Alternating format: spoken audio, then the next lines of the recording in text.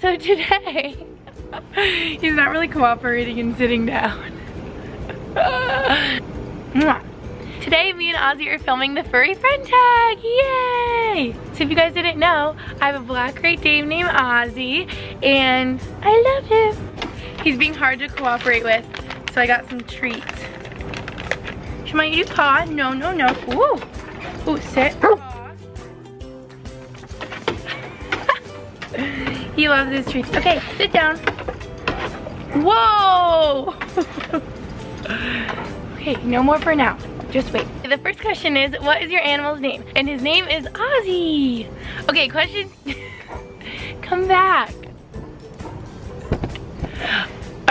question two is, what kind of animal is he and what is the breed? He is a dog and he's a Great Dane. The third question is, how long have you had your pet friend? And I have had Ozzy since I was in fifth grade and now I'm going to be a sophomore in college. So that is about eight, nine years. Right, Ozzy? Come here, love me. Mwah. Question four is, how did you receive your pet? And we received Ozzy when our other Great Dane sadly passed away. He passed away on his third birthday when we were on vacation in Mexico. Great Danes are just really big and their lifespan isn't that long. So they're pretty susceptible to bloat, which is how our first Great Dane Lex passed away. So then my mom, I remember she came home with him. She told us she was just going to look at Great Danes and she came home with this baby little black Great Dane. I'll insert a picture right here.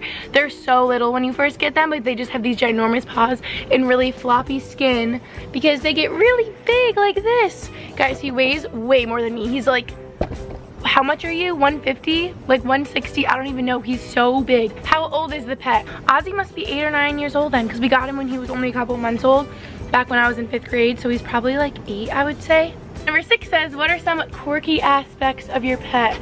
And I would say a quirky aspect is that he thinks he's little. I'm not kidding. Like Great Danes are these like massive dogs if you can tell how big he is. I'll insert another picture of him standing up with me. But what's quirky is Great Danes, or actually I don't know about all of them, but he just thinks he's little. He thinks he's a lap dog. I'm not kidding. When you sit down crisscross applesauce, he'll just sit on your lap like he thinks he's a little dog, but he crushes you because he's so big. He wants the treats. He can see them. Number seven says, what does your connection with your dog imply to you? Oh, this is deep. I just love him. He's such a good little boy. Not little, big. I just like that he's there to make everyone in my family, including me, feel better. And when you pet a dog, it's literally like therapeutic. I think it's like actually proven that like petting a dog makes you feel better because you're just like, ah, doggy. Number eight says, what are your favorite pastimes with your dog? Hmm, Ozzy and me like to just cuddle and he likes to be pet. He likes to sleep a lot, especially now that he's getting older, like eight years old. He sleeps a lot of the day. So usually he's just really good at relaxing. And yeah, what are you looking at, bunnies? there bunnies back there? Number nine says, what is your pet's nicknames? And pretty much it's just Ozzy, Oz, Oswaldo, Puppy, even though he's not a puppy, sometimes we call him Puppy.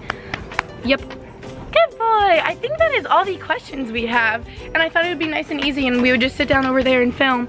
But he's been all over the place. I keep having to move this just so you can see him. Alright, so that is it for the furry friend tag. Thank you guys so much for watching this video. And I'll see you in my next one. Bye. Now he's just chilling. This is what Great Danes love to do. They love to just lean on you and like nudge you with their head. And you pet them. Okay, this is very hard to film with a dog. I'm starting to realize. Ozzy. I should have filmed this when he was like sleeping.